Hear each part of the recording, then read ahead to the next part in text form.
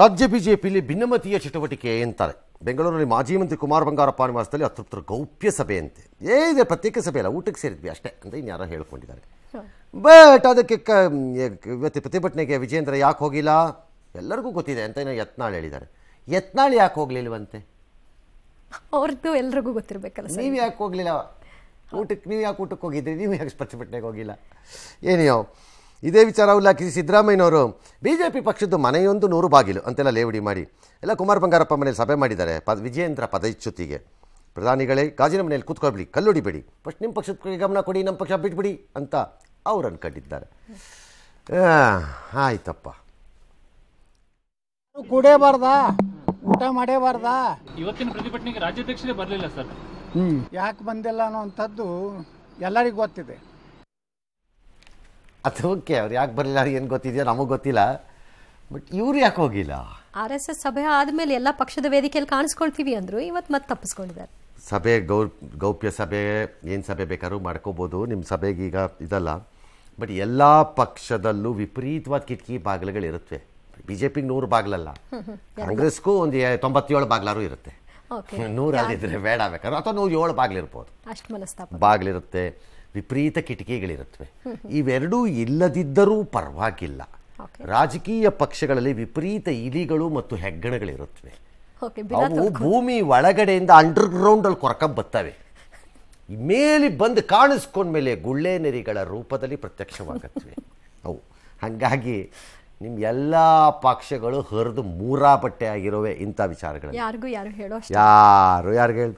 S ಇನ್ನು ತಿರುಪತಿ ಲಡ್ಡು ವಿಚಾರದಲ್ಲಿ ರಾಜಕೀಯ ನಿಲ್ಲೋ ಲಕ್ಷಣ ಕಾಣಿಸ್ತಾ ಇಲ್ಲ. ಸಿಎಂ ಚಂದ್ರಬಾಬು ನಾಯ್ಡು ಆರೋಪ ಸುಳ್ಳು ಅಂತ ಪ್ರತಿಪಾದಿಸೋದಕ್ಕೆ ಮಾಜಿ ಸಿಎಂ ಜಗನ್ ನಾಳೆ ತಿರುಪತಿಗೆ ಹೋಗ್ತಾರೆ ನಾಡಿದ್ದು ದೇವರ ದರ್ಶನವನ್ನ ಮಾಡಲಿದ್ದಾರೆ. ಆದರೆ ಇದಕ್ಕೆ ಟಿಡಿಪಿ ಮತ್ತು ಜನಸೇನಾ, ಬಿಜೆಪಿ ಎಲ್ಲರೂ ಕೂಡ ವಿರೋಧವನ್ನ ವ್ಯಕ್ತಪಡಿಸಿದ್ದಾರೆ. ಕಾರಣ ಅನ್ಯ ಧರ್ಮೀಯರು ತಿರುಪತಿ ತಿಮ್ಮಪ್ಪನ ದರ್ಶನಕ್ಕೆ ಬರುವ ಮುನ್ನ ಅವರು ತಮಗೆ ತಿರುಪತಿ ತಿಮ್ಮಪ್ಪನ ಮೇಲೆ ವಿಶ್ವಾಸ, ನಂಬಿಕೆ ಇದೆ ಅನ್ನೋದನ್ನ ಘೋಷಿಸಿಕೊಳ್ಬೇಕು, ಜಗನ್ ಕೂಡ ಡಿಕ್ಲರೇಷನ್ ಕೊಡಬೇಕು ಅಂತ ಪಟ್ಟನ ಹಿಡಿದಿದ್ದಾರೆ. ಅಲ್ಲದೆ ಪ್ರಸಾದ ಅಪವಿತ್ರ ಮಾಡಿದವರು ತಿರುಪತಿಗೆ ಯಾಕೆ ಹೋಗಬೇಕು ಅಂತ ರಾಜಾ ಸಿಂಗ್ ಅವರ ಪ್ರಶ್ನೆ. ಇನ್ನು ಪ್ರಾಯಶ್ಚಿತ್ತಕ್ಕಾಗಿ ತಿಮ್ಮಪ್ಪನ ದರ್ಶನ ಮಾಡಲು ತೆಲಂಗಾಣದ BJP fire brand. Madhavi Latha ರೈಲಲ್ಲಿ ತಿರುಪತಿಗೆ ಹೋಗೋದಕ್ಕೆ ನಿರ್ಧರಿಸಿದ್ದಾರೆ. ಹೀಗಾಗಿ ನಾಳೆ ನಾಡಿದ್ದು ಭಾರಿ ಹೈಡ್ರಾಮಾ ನಿರೀಕ್ಷೆ. ಆಯ್ತು. ಅಲ್ಲಿ ತಿರು ಟೆಂಪಲ್ಗೆ ಹೋಗ್ಲಿ. ಬಟ್ ಅವರು ಆ ಕಾನೂನು ಇದ್ರೆ ಅಲ್ಲಿ ಘೋಷಿಸ್ಕೋ ನಿರ್ಧಾರ ಘೋಷಿಸಬೇಕು. ನಂಬಿಕೆ ಇದೆ ಅಂತ ಹೇಳಿ ಅಷ್ಟೇ ಹೇಳ್ಬಿಟ್ಟು ಹೋಗ್ಲಿ. ಯಾರು ಬಡ ಅಂತಿರೋರು ಈಗ? ಹೌದು. ಅದು ಮಾಡಲ್ಲ ಹಾಗೆ ಹೋಗ್ತೀನಿ ಅದು ಮಾಡಲ್ಲ ಹಾಗೆ ಮಾಡ್ತೀನಿ. ನಾನು ಇಷ್ಟ ಬಂದಂಗೆ ಓಡಾಡ್ಕೊಂಡು ಬರ್ತೀನಿ ಅಂತಾನೆ ಅದೇ ಇದ ಇದದು ಛತ್ರನ ಅದು. ಘೋಷಿಸ್ಬಿಟ್ಟು ಹೋಗ್ಬೇಕಪ್ಪ. ಪವಿತ್ರ ಅಪವಿತ್ರ ಎಲ್ಲ ಆಮೇಲೆ ನೋಡೋಣ. ಘೋಷಣೆ ಮಾಡ್ರಿ. ರೂಲ್ಸ್ನ ಫಾಲೋ ಮಾಡ್ಲಿ ಮಾಡಬೇಕು ಯಾಕೆ ಮಾಡಬಾರ್ದು? ಮಹಾಮಳೆಗೆ ವಾಣಿಜ್ಯ ನಗರಿ ಮುಂಬೈ ತತ್ತರಿಸಿ ಹೋಗಿದೆ. ಹಾ ಮನೆ ಸಂಬಂಧದಲ್ಲಿ ನಾಲ್ಕು ಜನ ಮೃತಪಟ್ಟಿದ್ದಾರೆ. ಮ್ಯಾನ್ಹೋಲ್ ಮುಚ್ಚಳ ಕಳ್ಳತನದ ಕಾರಣ ವಿಮಲ ಎಂಬಾಕೆ ಮ್ಯಾನ್ಹೋಲ್ಗೆ ಬಿದ್ದು ಮೃತಪಟ್ಟಿದ್ದಾರೆ. ಎಲ್ಲ ಮಹಾನಗರಗಳ ಹಣೆ ಬರಹ. ಎಲ್ಲ ಹಾಂ ಎಲ್ಲಿ ಬೇಕಾದ್ರೂ ಮೃತಪಡಬಹುದು. ಯಾರಿಗೂ ಏನು ನಾಚಿಕೆ ಆಗಲ್ಲ ಬಿಡಿ. ಅಲ್ಲ ಮ್ಯಾನ್ ಹೋಲ್ ಮುಚ್ಚಳಾನೇ ಕದ್ದಿದಾರಲ್ಲ ಸರ್ ಏನು ಹೇಳಬೇಕು? ಸರಿ ಈಗ ಅವ್ರೇನು ಬಿ ಬಿ ಎಂ ಪಿನವ್ರು ಕದ್ಕೊಳ್ಳಿ ಅಂತ ಯಾರಾದ್ರು ಹೇಳಿರ್ತಾರ? ಇಲ್ಲ. ಕಳ್ಳರು ಕದ್ಕೊಂಡು ಹೋಗಿರ್ತಾರೆ. ಯಾರಾದ್ರು ಗಮನಿಸ್ಬೋದಿತ್ತು? ಗಮನಿಸಿಲ್ಲ. ಈ ಬೆನ್ನಲ್ಲೇ ಬಿ ಬಿ ಎಂ ಪಿ ತನಿಖಾ ಸಮಿತಿ ರಚಿಸಿದೆ. ನಸುಕಿನ ಜಾವದವರೆಗೂ ಮಳೆ ಬಂದಿರೋ ಪರಿಣಾಮ ಇನ್ನೂರು ಮಿಲಿಮೀಟ್ರ್ ಅಂತೆ. ವಾಹನಗಳ ಜೊತೆ ಜನನು ಕೊಚ್ಕೊಂಡೋಗೋ ಪರಿಸ್ಥಿತಿಯಲ್ಲಿ. ವಿಮಾನಗಳು ಯಾವುದು ಲ್ಯಾಂಡ್ ಆಗೋಕ್ಕಾಗದೇ ಇರೋ ಪರಿಸ್ಥಿತಿ.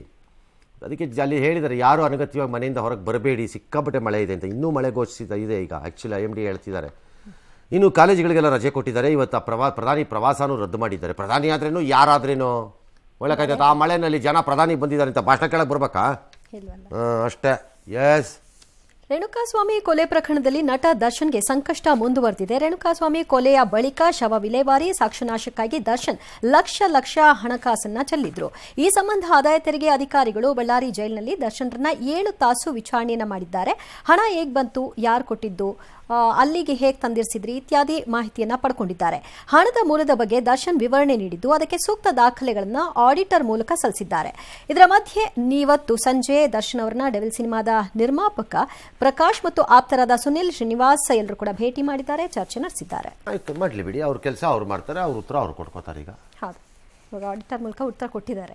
ಉತ್ತರ ಕೊಟ್ಟಿರ್ತಾರೆ. ಐ ಟಿ ಅಧಿಕಾರಿಗಳು ಸರಿ ಇದ್ರೆ ಸರಿ ಅಂತ ಇಸ್ಕೋತಾರೆ ಬೆಂಗಳೂರಿನ ಮಹಾಲಕ್ಷ್ಮಿ ಕೊಲೆ ಪ್ರಕರಣದ ತನಿಖೆ ಹೀಗಾಗಿದೆ. ನಿನ್ನೆ ಒಡಿಶಾದಲ್ಲಿ ಆತ್ಮಹತ್ಯೆ ಮಾಡಿಕೊಂಡವನೇ ಹಂತಕ ಅಂತ ಇತ್ಯರ್ಥ ಆಗಿದೆ. ಮುಕ್ತಿರಂಜನ್ ರಾಯ್ ತನ್ನ ಡೆತ್ ನೋಟನ್ನ ಬಿಟ್ಟು ಹೋಗಿದ್ದಾನೆ. ಅದರಲ್ಲಿ ಪಶ್ಚಾತ್ತಾಪ ಮಾಡಿದಾನಂತೆ. ಪ್ರಯೋಜನ ಇಲ್ಲ. ಸೆಪ್ಟೆಂಬರ್ ಎರಡನೇ ತಾರೀಕು ಹತ್ಯೆ ಮಾಡಿಬಿಟ್ಟಿದ್ದೀನಿ. ವೈಯಕ್ತಿಕ ವಿಚಾರಕ್ಕೆ ಜಗಳ ಆಯಿತು. ಆಗ ಆಕೆ ನನ್ನ ಮೇಲೆ ಹೊಡೆದ್ಲು. ನಾನು ಅದಕ್ಕೆ ನಾನು ಹೊಡೆದೆ ಉಸಿರು ಕಟ್ಟಿ ಸತ್ತೋ, ಸಾಯಿಸ್ಬಿಟ್ಟೆ. ಆಮೇಲೆ ಏನೋ ಬ್ಲೇಡಿಂದ ಏನೋ ಕುಯ್ದಾಕ್ಬಿಟ್ಟೆ ಎಲ್ಲನೂ ಪೀಸ್ ಪೀಸ್ ಮಾಡಿ ಫ್ರಿಜ್ಗೆ ಹಾಕ್ಬಿಟ್ಟೆ ಅಂತೆಲ್ಲ ಬರೆದಿದ್ದಾನಂತೆ. ಏನೋ ಏಳೆಂಟು ತಿಂಗಳಿಂದ ಇಬ್ಬರ ಮಧ್ಯೆ ಸಲಗೈತು ಅವಳು ನನ್ನ ಮದುವೆ ಆಗುವಂತ ಒತ್ತಾಯ ಮಾಡ್ತಿದ್ಲು ನಾನು ಅದಕ್ಕೆ ಒಪ್ಪಿರಲಿಲ್ಲ ಡ್ಯಾಶ್ ಡ್ಯಾಶ್ ಅಂತೆಲ್ಲ ಎಕ್ಸ್ಪ್ಲೈನ್ ಮಾಡಿದ್ದಾನೆ ಇವನು. ಸೆಪ್ಟೆಂಬರ್ ಎರಡನೇ ತಾರೀಕು ಆದಮೇಲೆ ಕೊಂದು ಅವನು ಎಸ್ಕೇಪ್ ಆಗಿದ್ದ ಎಲ್ಲೆಲ್ಲೋ ತಿರ್ಗಾಡ್ಕೊಂಡು ಫೈನಲಿ ಅವ್ನು ಊರಿಗೆ ಹೋಗಿ ಸೇರ್ಕೊಂಡಿದ್ದಾನೆ. ಅವ್ರ ಪೋಷಕರ ಪ್ರಕಾರ ಅವ್ನು ಬಂದಾಗ ಅವ್ನು ಮೂಡ್ ಸರಿ ಇದ್ದಂಗೆ ಕಾಣಿಸ್ಲಿಲ್ಲ ನಮಗೆ. ಆದರೆ ಸಾಯೋ ಹಿಂದಿನ ದಿನ ಬೆಳಗ್ಗೆ ಸ್ಕೂಟ್ರ್ ತೊಗೊಂಡು ಬೈಕ್ ತೊಗೊಂಡು ಹೊರಗಡೆ ಹೋದ ಹೊಲಕ್ಕೆ ಹೋಗಿ ನೇಣು ಹಾಕೊಂಡು ಸತ್ತಿದ್ದಾನೆ ಇವನು ಅಂತ ಹೇಳಿದ್ದಾರೆ. ಆಲ್ ರೈಟ್ ಏನೇ ಇರ್ಬೋದಪ್ಪ ನೀನು ಮದುವೆ ಆಗಿರಲಿಲ್ಲ ಏನಿಲ್ಲ. ಬ್ಯಾಡ ಹೊಂದಾಣಿಕೆ ಆಗಿದ್ರೆ ಬಿಟ್ಟು ತಾರಬೇಕಾಗಿತ್ತು ಇರಬೇಕಾಗಿತ್ತು ಅಟ್ಲೀಸ್ಟು ಆಕೆ ಗಂಡನ್ ಬಿಟ್ಟು ಈಗ ಬೇರೆ ಇದ್ಲಲ್ಲ ಹಾಗೆ ಇವನು ಏನೋ ಅದು ಏನಾದ್ರು ಮಾಡ್ಕೊಳ್ಳಿ ಆಕೆದು ಹಣೆ ಬರಹ ಆಕೆದು ಜೀವನ. ಬೇಡ ಅನ್ಸದ. ಅದಕ್ಕೆ ಆ ತರ ಯಾಕೆ ಮಾಡ ಕದಲಿ ಹಿಂದೂ ವಿರೋಧಿ ಕೃತ್ಯಗಳು ಹೆಚ್ಚಾದಂತೆ ಕಾಣಿಸ್ತಾ ಇದೆ. ಹತ್ತು ದಿನಗಳ ಹಿಂದಷ್ಟೇ ಕಿಡಿಗೇಡಿಗಳು ನ್ಯೂಯಾರ್ಕ್ನ ಸ್ವಾಮಿನಾರಾಯಣ ಮಂದಿರದ ಗೋಡೆ ಮೇಲೆ ಆಕ್ಷೇಪಾರ್ಹ ಬರಹವನ್ನ ಗೀಚಿದ್ರು. ಇದೀಗ ಕ್ಯಾಲಿಫೋರ್ನಿಯಾದ ಸ್ವಾಮಿನಾರಾಯಣ ದೇಗುಲದ ಗೋಡೆ ಮೇಲೂ ಕೂಡ ಕಿಡಿಗೇಡಿಗಳು ಅಂತಹದೇ ಕೃತ್ಯವನ್ನು ಎಸಗಿದ್ದಾರೆ. ದೇಗುಲದ ಗೋಡೆಗಳ ಮೇಲೆ ಹಿಂದೂ ವಿರೋಧಿ ಬರಹಗಳನ್ನು ಬರೆದಿದ್ದಾರೆ. ಕುಡಿಯುವ ನೀರಿನ ಪೈಪ್ನ ಧ್ವಂಸಗೊಳಿಸಿದ್ದಾರೆ. ಈ ಕೃತ್ಯಕ್ಕೆ ಅಮೆ ಅಮೆರಿಕ ಹಿಂದೂ ಧರ್ಮೀಯರೆಲ್ಲರೂ ಕೂಡ ಆಕ್ರೋಶವನ್ನು ವ್ಯಕ್ತಪಡಿಸಿದ್ದಾರೆ. ಪೊಲೀಸರು ತನಿಖೆಗನ್ನ ಕೈಗೆತ್ತಿಕೊಂಡಿದ್ದಾರೆ. ಇದರ ಹಿಂದೆ ಖಲಿಸ್ತಾನಿ ಪ್ರತ್ಯೇಕತಾವಾದಿಗಳ ಕೈವಾಡ ಇರಬಹುದು ಅನ್ನೋ ಶಂಕೆ. ಯಾವ ಕೋತಿಗಳದಿರುತ್ತೆ? ಯಾವ ಕೋತಿಗಳಂತೂ ಗ್ಯಾರಂಟಿ. ಅನುಮಾನ ಇಲ್ಲದ ಕೋತಿಗಳಿವು. ಚೇಷ್ಟೆ ಮಾಡದೆ ಚೇಷ್ಟೆಗಳಿವು. ಕಿತಾಪತಿಗಳು ಮತ್ತು ಹೇಡಿಗಳು. ಮುಂದೆ ಬರೀ ಹಿಂದೂದು ಮಾಡ್ತಾರಲ್ಲ ನನಗೆ ಅರ್ಥ ಆಗ್ತಿಲ್ಲ. ನಮ್ಮ ದೇಶದಲ್ಲಿ ಕಂಡು ಕಂಡು ಕಡೆ ಸಿ ಸಿ ಟಿ ವಿ ಇದೆ. ನಿಮ್ಮ ದೇವಸ್ಥಾನದ ಹತ್ರ ಎಲ್ಲ ಸಿ ಸಿ ಟಿ ವಿ ಇರಲ್ವಾ? ಇರ್ಬೇಕಲ್ಲ ಅವು ಯಾವನ್ ಮಾಡಿದಾನೆ ಅನ್ನೋದು ಸಿಕ್ಕಲ್ವಾ ಅಲಂಕಾರ? ಹಂಗಾರೆ ಪ್ರತಿ ಸರಿ ಬಣ್ಣ ಬಳದ್ರು ಬಣ ಬಳದ್ರು ಅಂತಾರೆ. ಯಾವನು ಅಂತಲೇ ಹೇಳಲ್ಲ ನಮಗೆ ಕರೆಕ್ಟಾಗಿ ನಿಜ. ಕೊನೆಗೆ ಯಾರು ಅಂತ ನಮ್ಮ ನಮ್ಮಲ್ಲಿ ನಮ್ಮಲ್ಲಿ ಬರ್ರಿ. ಅರ್ಧ ಗಂಟೆಗೆ. ಅಷ್ಟು ಹಾಕಿ ಬಿಡ್ತೀವಿ ನಾವು ತಗತ್ಲ ಕಡೆಗೆ ಅಂತ? ಇಲ್ವಾ? ನಿಮ್ಮ ಹತ್ರ ಯಾವ ಅಮೇರಿಕ ಅದು. ಇದ್ರೆ ತೋರಿಸ್ರಿ ಹಂಗಾರೆ. ಎರಡನೇದು. ಈಗ ಬಣ್ಣ ಬಳಿಯುವಂಥ ಹೇಡಿಗಳು ಸಿಕ್ಕಾಕೊಂಡ್ರೆ ನಾಳೆ. ಇನ್ನೊಂದು ಧರ್ಮದ ಯಾವುದೋ ಸ್ಥಳಕ್ಕೆ ಗೋಡೆ ಮೇಲೆ ಹಿಂಗೆ ಹಿಂಗೆ ಹಿಂಗೆ ಹಿಂಗೆ ಬಡ ಬಳಿಯೋದೇನು ಭಾಳ ಕಷ್ಟದ ಕೆಲಸನಾ. ಇವನ್ ಮಾಡ್ದಂಗೆ ಇನ್ಯಾರು ಭಾಳ ಕಷ್ಟ. ಏನು ವೀರರು ಎಲ್ಲ ಅದರಿಂದ ಏನು ಶೋಕಿಗಳು ತಂದು. ಆಧುನಿಕ ಕಾಲದಲ್ಲಿ ಹಳ್ಳಿಗಳಿಗೆ ಸರಿಯಾದ ರಸ್ತೆ ಇಲ್ಲ ಅಂತಾರೆ ಏನು ಇಲ್ಲ ಏನು ಮಾಡೋಕ್ಕಾಗತ್ತೆ? ನಾವೇನು ನಿಮ್ಗೆ ಹೇಳಿ ಬರ್ಕೊಟ್ಟಿದ್ವಾ ಅಂತ ಕೇಳ್ತಾರಪ್ಪ. ವೃದ್ಧೇನು ಮೂರು ಕಿಲೋಮೀಟ್ರ್ವರೆಗೆ ಜನ ಹೊತ್ಕೊಂಡು ಆಸ್ಪತ್ರೆಗೆ ಹೋಗಿದಾರಂತೆ. ಕಳಸಾ ತಾಲೂಕಿನ ನೆಲ್ಲಿಬೀಡು ಗ್ರಾಮ. ಇದೊಂದೇ ಅಲ್ಲ ಅಜ್ಜಿ ಗದ್ದೆ ಆರೋಳಿ ಕಟ್ಟೆ ಮನೆ ಐತೆ ಎಷ್ಟೆಷ್ಟೋ ಹಳ್ಳಿಗಳಿಗೆ ನೀರೇ ಹಳ್ಳಿಲೇ ನೀರೇ ಇದ್ದಾರೆ ರಸ್ತೆನೇ ಇಲ್ಲ ಅಂತಾರೆ. ಈಗಲೂ ಹೇಳ್ತಾರೆ ನರಕ ನರಕ ಅವ್ರಿಗೆಲ್ಲ.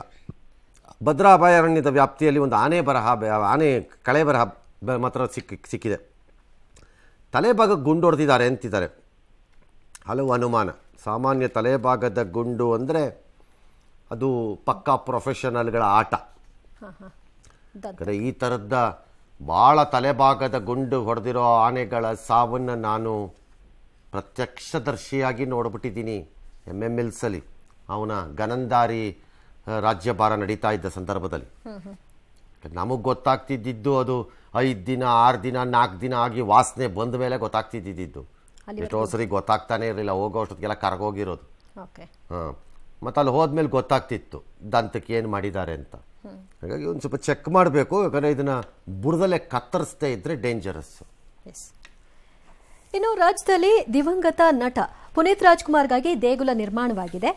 ಹಾವೇರಿಯ ಯಲಗಚ್ಚ ಗ್ರಾಮದಲ್ಲಿಯ ಅಭಿಮಾನಿಯೊಬ್ಬರು ಹತ್ತು ಲಕ್ಷ ವೆಚ್ಚದಲ್ಲಿ ಇದನ್ನು ನಿರ್ಮಾಣ ಮಾಡಿದ್ದಾರೆ. ಅಶ್ವಿನಿ ಪುನೀತ್ ರಾಜ್ಕುಮಾರ್ ಅವರನ್ನ ಕರೆಸಿ ಉದ್ಘಾಟನೆ ಮಾಡಿಸಿದ್ದಾರೆ. ಪುನೀತ್ ರಾಜ್ಕುಮಾರ್ ಅವರ ಆರು ಅಡಿಯ ವಿಗ್ರಹ ನೋಡಿ ಅಶ್ವಿನಿ ಭಾವುಕರಾಗಿದ್ದಾರೆ. ಇದೇ ವೇಳೆ ಅಪ್ಪು ಅಭಿಮಾನಿ ಪ್ರಕಾಶ್ ತಮ್ಮ ಪುತ್ರಿಗೆ ಅಶ್ವಿನಿ ಅವರಿಂದಲೇ ನಾಮಕರಣ ಮಾಡಿಸಿದ್ದಾರೆ. ಇದೆಲ್ಲ ನಮ್ಮ ಪುಣ್ಯ ಅಂತ ಹೇಳ್ಬೇಕಷ್ಟೇ. ಯಾವಾಗಲೂ ನಾವು ನಮ್ಮ ನಮ್ಮ ಕುಟುಂಬ, ಎಲ್ಲ ಅಭಿಮಾನಿಗಳಿಗೂ ನಮ್ಮ ಜೊತೆ. ಬೆಂಗಳೂರಲ್ಲಿ ಟ್ರಾಫಿಕ್ ಜಾಮ್ ಪರಿಣಾಮ, ರೈಲೊಂದು ನಿಂತೋಯ್ತು ಅಂತ ಒಂದು ವಿಡಿಯೋ ವೈರಲ್ಲು ರೈಲ್ವೆ ಅವರು ಹೇಳಿದ್ದಾರೆ, ರೈ, ಹಂಗಲ್ರಿ. ಮುನ್ನೆ ಕೊಳಲ ರೈಲ್ವೆ ಕ್ರಾಸಿಂಗ್ ಬಳಿ ಹಳಿನಲ್ಲಿ ಸೌಂಡ್ ಕೇಳಿಸ್ತು, ಹಳಿನಲ್ಲೇನೋ ಅಂದ್ಬಿಟ್ಟು ಲೋಕೋ ಪೈಲಟ್ ರೈಲನ್ನ ನಿಲ್ಲಿಸಿದ್ದಾರೆ ಚೆಕ್ ಮಾಡ್ತಿದ್ರು. ಆ ಟೈಮಲ್ಲಿ ಗೇಟ್ ಹಾಕಿದ್ದಿದ್ದು ಯಾತಕ್ಕೆ ಗೇಟ್ ಸುಮ್ಮನೆ ಯಾಕೆ ಜನ ತಡಿಬೇಕು ಅಂತೇಳಿ ಗೇಟ್ ತೆಗೆದಿದ್ದಾರೆ. ಹಾಗಾಗಿ ಟ್ರೈನ್ ಆ ಕಡೆಗಿತ್ತು ಇಲ್ಲಿ ಇದ್ರ ಪಡಗಿಲ್ಲಿ ಓಡಾಡ್ಕೊತಿತ್ತು ಗಾಡಿಗಳು.